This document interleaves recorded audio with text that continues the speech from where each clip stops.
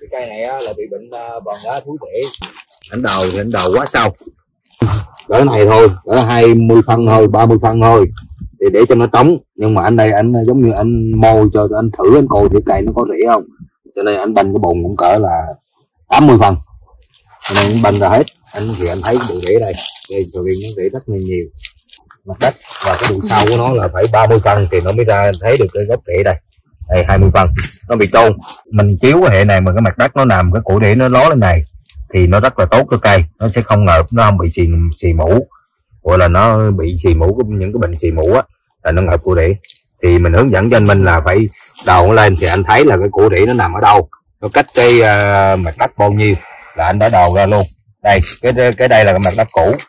Mặt đất cũ thì nó nó nằm đây nó chặn tới cái củ rễ là 20 phân.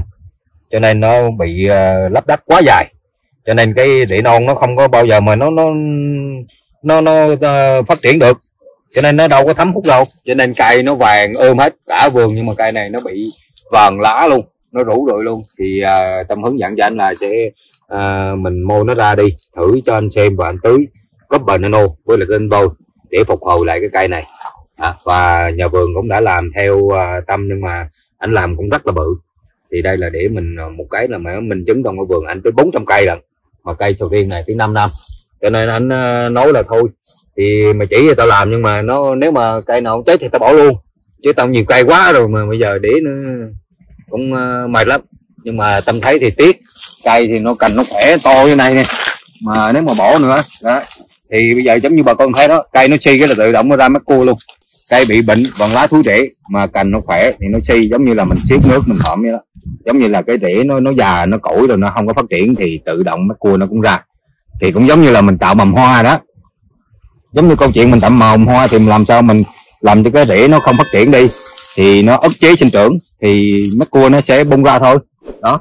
Nhưng mà còn cái đây là anh chưa làm gì hết, nhưng mà mắt cua nó tự động nó nhú ra rồi đây. Đấy, đó là cây nó bị suy gọi là bị suy vần lá thúi rễ là có hiện tượng như vậy. Cây 5 năm rồi. À, rồi đó là tâm hướng dẫn cho anh phục hồi thôi để mà mình xem thôi. Chứ thật ra thì anh nói là thôi có thể là mình bỏ cũng được. Chứ anh cũng không cần quan tâm đến cây này nữa. À, tại số lượng cây quá nhiều à À, ý là lưu ý với bà con á khi mình à, để mình môi cái rễ lên để mình biết cái cái nó ngợp cổ rễ cách sao á thì bà con cũng chỉ ờ, khui cho nó nó trống cái cổ rễ này lên thôi.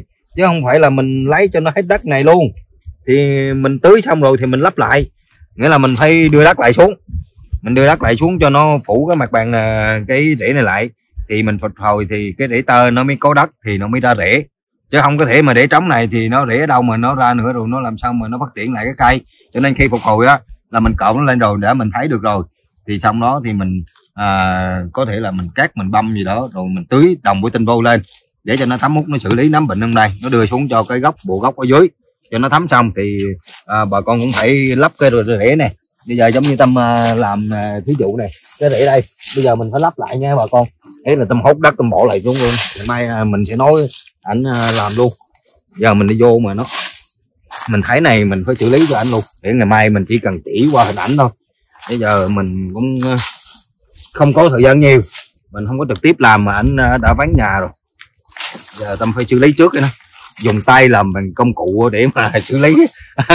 Làm vườn luôn chứ giờ hết rồi. Không không có chủ nhà thì mình tự biên tự diễn luôn. Đó mình phải lắp đất vậy nha. Ý là mình lắp cho nó phủ kín lại rồi cái mình tái tạo lại cái rễ để tơ để non nó mới ra nó được nó mới ăn lên rồi nó mới phát triển lại cái cây. Chứ không phải là mình để nó trống như thế này là không được. Đấy. Mình đắp nó lên đắp nó lên đắp cho nó bằng nó cho nó phủ hết cả cây luôn. Đó cái này thì mình dùng chứ anh ờ, có công thì anh làm là nó xong. Mình về để mình làm cho anh một phụ cho anh một cái rễ thôi. Đôi tay mình là cái đôi ờ, cái ờ, uh, sẻn đầu đất luôn. Ngon lành luôn đó hồi nãy bà con thấy là nó trống à bây giờ tâm làm cho nó phủ kín lại luôn. Đó chứ rễ mà để mình để nó trống ra vậy là nó không có hấp thụ được. Nó có đất thì rễ nó mới ra trong lần đất nó hấp, hấp thụ cây mình nó mới phát triển lại trở lại. Đó chứ không phải là mình đây là nó ngợp ở bên bề trên nhưng mà bà con đào rồi thấy cái cổ rễ rồi thì mình để cái mặt đất lại đừng có mô nó hết cái cái cái cái, cái đất này luôn.